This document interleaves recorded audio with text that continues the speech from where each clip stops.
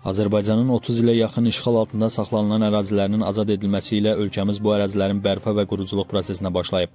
Bu, Azərbaycan Xarici İşlər Nazirliyinin Mətbuat Xidməti İdarəsindən Ermənistan Xarici İşlər Nazirliyinin Azərbaycan tərəfindən Şuşada aparılan bərpa işləri ilə bağlı bəyanatına dair şərhində işini tapıb.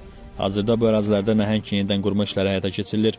O cümlədən onilliklərlə davam edən Ermənistan işğalı zamanı yerlə yeksan edilmiş tarixi, mədəni və dini irsimiz bərpa olunur.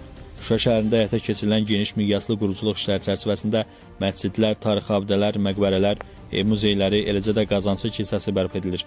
Qeyd etmək istərdik ki, bu yenidən qurma işləri Şuşanın tarixi simasının bərpa edilməsi məqsədi ilə məhz orijinal memarlıq üslubuna uyğun olaraq həyata keçirilir.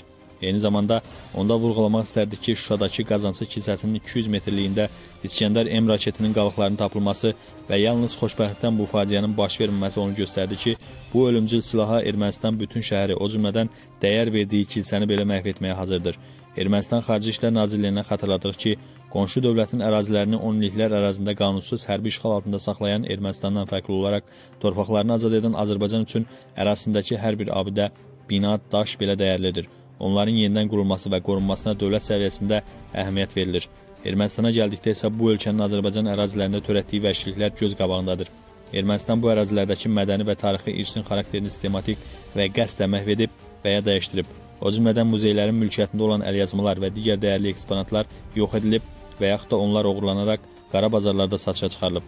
Azərbaycanın xalçaçılıq sənətinin dəyərli nümunələri talan edilib, yüzlərlə mədəniyyət müəssisəsi, 4,6 milyon kitab fondu olan 927 kitabxana, 100 mindən artıq eksponatın toplandığı 22 muzey və muzey filialı, 4 rəsm qalereyası, 8 mədəniyyət və istirahət parkı, Habelə Füzuli rayonunun arasında dünyanın ən qədim yaşayış məskənlərindən biri, Azıq mağarası, Şuşa Dövlət Tarixi Memarlıq Qoruğu erməni vandalizminin qurbanına çevrilib. Bütün bu vəhşiliklərə beynəlxalq öhdəliklərin pozuntusuna səbəb olan bir ölkənin Azərbaycan tərəfindən öz arasında aparılan bərpa quruculuq işləri ilə bağlı hər hansı şərh verməyə mənəvi ya da hər hansı hüquqi əsası yoxdur.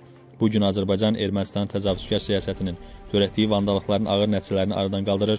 Olur ki, belə olan halda Ermənistan Xarici İşlər Nazirliyinin əsassız iddialar deyil, üzrxahlıq bəyanatı ilə çıxış etməsi daha doğru olardı deyə qeyd olunub.